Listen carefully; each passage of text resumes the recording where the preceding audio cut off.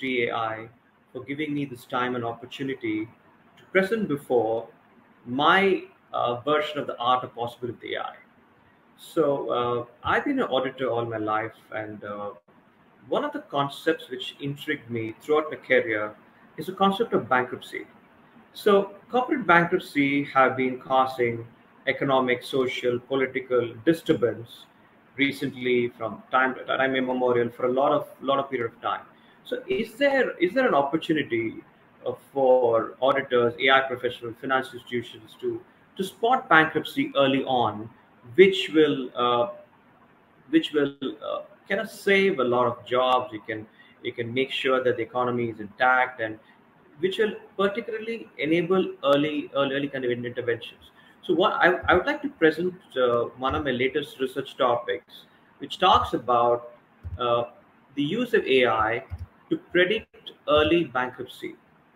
So early early bankruptcy, which means uh, which will are the symptoms which is existing in financial information or any other corporate information, which can enable board members, CEOs, investors, bankers to anticipate a business disaster coming their way.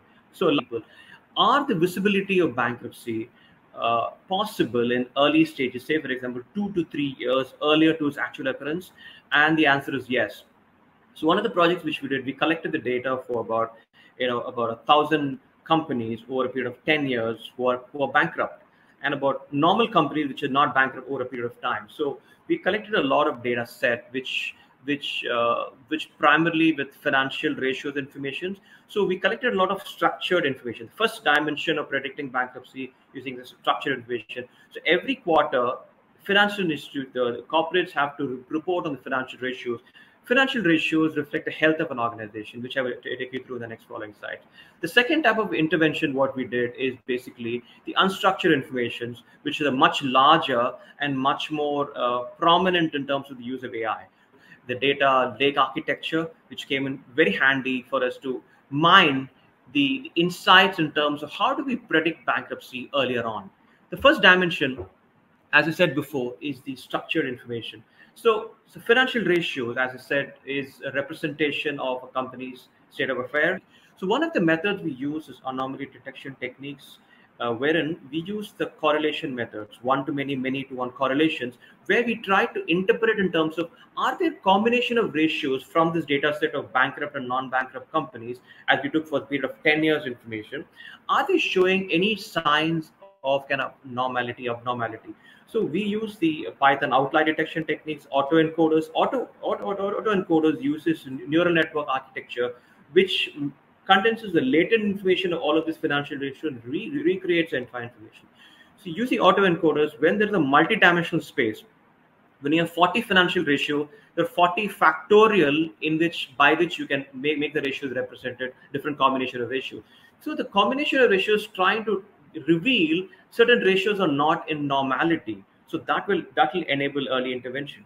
The second aspect in terms of supervising the whole machine learning in terms of the x to y variability, where we would try to label the data set, which is about two to three year. The, the, the labeling of data set happened in terms of the year of bankruptcy, along with the earlier years of bankruptcy, which we want to understand is there a, an indication of bankruptcy shown much before its actual occurrence so we use the, uh, the, the Azure cloud to tune those parameters of XGBoost because if you have to tune by yourself in terms of weights and biases and gradient descents, it takes a lot of time. Using the cloud and AI functionality within the cloud, you're able to get the right parameters for, for, for my from algorithms. So what is what is the use of knowing I'm having a model which can predict a probability of a certain company going bankrupt or non-bankrupt. The third uh, facet came in terms of can I explain the particular model in terms of why it is happening in a certain manner? That's where explainability happens. That is where the early interventions can happen. Is it because of profitability? Is because of efficiency, utilization? So if it's going to be a working capital issue, so it gave very specific, uh, specific items or parameters, which is showing as to why a company is getting bankrupt using the model of XAI. So these were the structured information. Unfortunately, unfortunately, what happens is that a lot of information don't get reported in terms of misrepresentation, maybe delayed representation.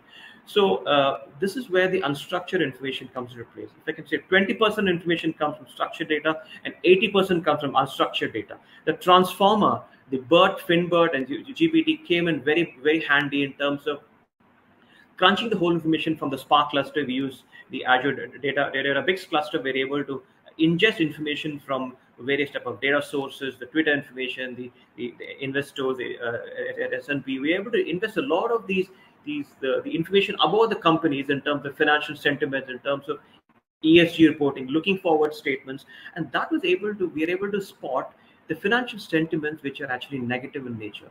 With the use of compute, with the use of uh, large scale computers available on the cloud, we're able to compute in terms of what were the sentiments showing, what were the forward looking statements or, or not so forward looking statements using graph neural network. We're able to find uh, mis misreporting the organization while the financial reporting information says something, the actual information says something else entirely. So these are possible through NLP transformers and FinBERT and GPT-3. So if you look at GPT-3 has got ability to condense information. It can give you an abstract of the whole instead of reaching thousands and thousands of materials. GPT-3 has got an ability to condense information, give you the extract of the whole information, and with that extract, we can predict whether are there any particular particular intimation of a company getting bankrupt, are there information the company is hiding in terms of which can possibly mean the company is getting to quote a bankruptcy. So how do you orchestrate the whole thing? There is a supervised, unsupervised machine learning methods. There is hyperparameter tuning, the auto, auto encoders in terms of the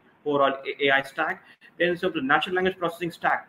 Uh, Have FinBERT, BERT, I have a GPT-3 whole type of algorithm. So how do we orchestrate the whole thing? That's where the the, the cloud data architecture is coming into place.